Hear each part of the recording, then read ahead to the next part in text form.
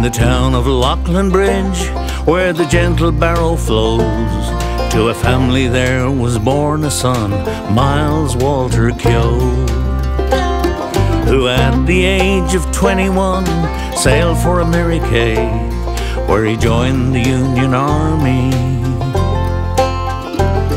For to fight the boys in grey. When the Civil War was ended, Myles joined the cavalry and he rode with General Custer on a horse called Comanche. Sent to quell the Indian tribes, Sioux and Cheyenne, they rode into their destiny. Almost 400 men. Myles rode with General Custer and his 7th Cavalry into a deadly ambush by that little bighorn stream. Outflanked and outnumbered by those fearsome Indian bands, they fought and died for the white man's greed at Custer's final stand.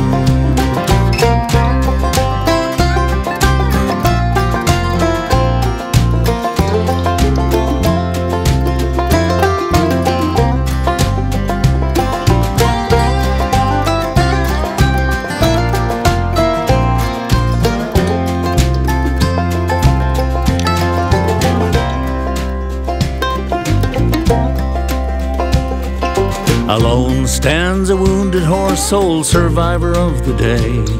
And scattered all around him, the dead and dying lay.